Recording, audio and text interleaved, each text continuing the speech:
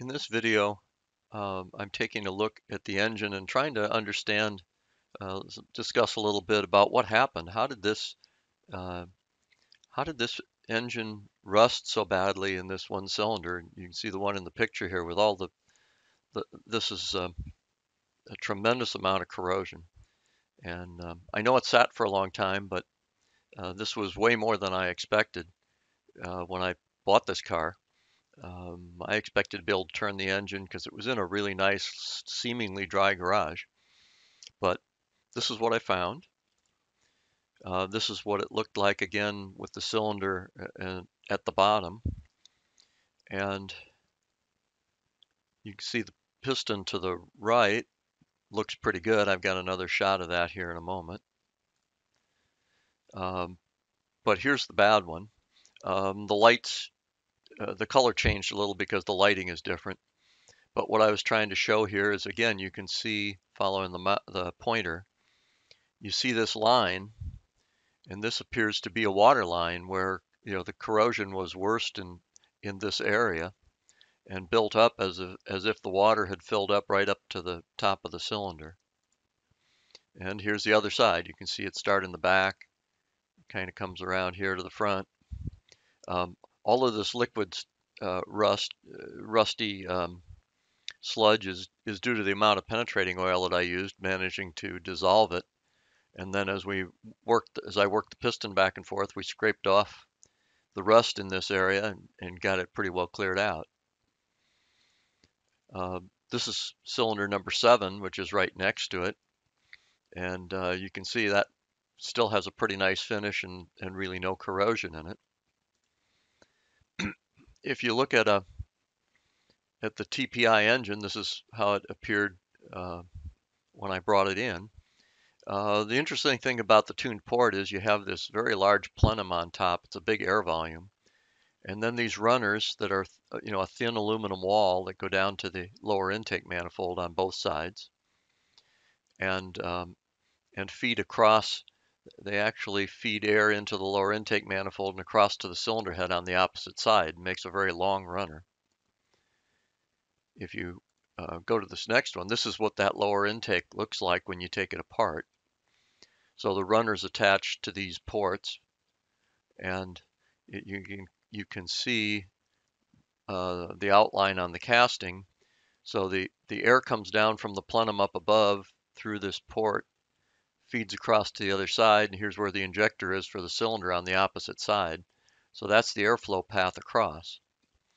So cylinder number five, the one that rusted, here's its injector, and you can see the port going down to the head, uh, comes across from the opposite side, and that would be this one right here. So that runner comes down, feeds this one, goes across to the other side. Um, it looks like it's a largely downhill path. Um, the only thing I noticed um, is in some of these ports, I don't know that it had them in all ports, uh, but there were some passages in the floor of the ports uh, for EGR uh, to feed exhaust gas back into the intake. Um, there, there was kind of a, a, manifold passage on the bottom side. So in this picture, uh, this is just kind of a cartoon I put together of of what a V8 engine looks like uh, in, in this case and, uh, and in a way to try to explain uh, what might have happened. Uh, because, as I said, I'm really surprised at uh, the amount of rust we had. So um, this is a, a, view of the engine looking from the front um, with the standard V8 90 degree V angle. This is the layout of the crankshaft throws. Uh, cylinders one and two up in the front, three and four are next, five and six across on the other side, and seven and eight at the rear. Uh, you can see the firing order here. This is the right, looking at the engine from the right hand side. Uh, this is looking at the engine from the left hand side. And these are depicting the cylinder and the gray is the where the piston is sitting in the cylinder based on where I found the engine when I um, when I when I got it. So at this point, you can see cylinder 5 is at the bottom, and it may not have been exactly at the bottom, at bottom dead center. It, you know, it could have been up just a little bit, but when you look at the earlier photographs and you look at where the water line is, uh, it couldn't have been up very far, uh, or it wouldn't have, have held water at that point. I mean, it could have it could have been up a quarter inch, or, but I don't think it would uh, change the discussion a lot. Um, so if you if you look, we'll start with the right-hand bank. What I did, uh, go back to the left. Uh, here's cylinder five. It's at the bottom. So then I went through the firing order and looked at where each piston should be and what the status of the valve train is in each case. So I want to go down to the left here first, or to the uh, cylinder two. So cylinder two, which you can see by the crankshaft throw is at its top position, uh, is in valve overlap. The intake and exhaust valves are both open. It's just gone through an exhaust and it's getting ready to come on intake. So it's vented to exhaust, even though it could have moisture come through the intake side. Uh, four is in the middle with the valves closed. It's on a power stroke. Six is in compression. Uh, and again, the valves are all closed. Eight has exhaust uh, open and it's getting ready to go on an exhaust stroke. One's about halfway up an exhaust stroke. Uh, three it has its valves closed and it's it's just firing. Spark plug should be firing, so it's making power. And then um, five is at the bottom with an intake valve open, and seven is halfway down roughly with an intake valve open. And seven didn't rust, as you can see in the pictures. Still not quite sure why, other than that uh, perhaps the volume of air between these two cylinders was a lot different. And if five was up above bottom dead center a little bit, seven could have been closer to the top, and again, uh, would reduce the amount of air volume. So it looks like five would be a worst case. It's all the way to the bottom and uh, has the ability to, to have a, a very large air volume. So if we go back and look at how does this engine lay out, um, here you can see the plenum with the, the uh, throttle body, the throttle plates. Uh, this plenum is just a big open chamber behind the throttle body. It's, uh, it's got a large air volume.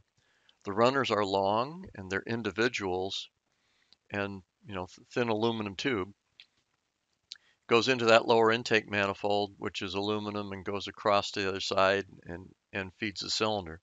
So 5 had an open intake valve, maybe not fully open, but considerably. Uh, it was, um, you know, piston was at the bottom, and if you had a water line, you could see on the si side of the cylinder, this is what would happen if it filled up with water up, up to the intake valve.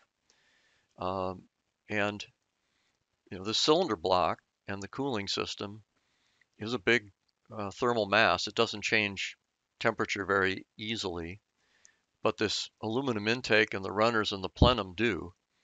And the garage was dry, but the neighborhood that it was in um, was fairly flat. And sometimes these unheated garages have a lot of humidity. And it just seems that either the moisture condensed in the runner and ran down in, um, or just the, the cycling every day of air in and out of this cylinder, it managed to capture it. Uh, it seems as though the the exhaust uh, valve, the cylinders with exhaust valves open, didn't collect any moisture. They were they were all good.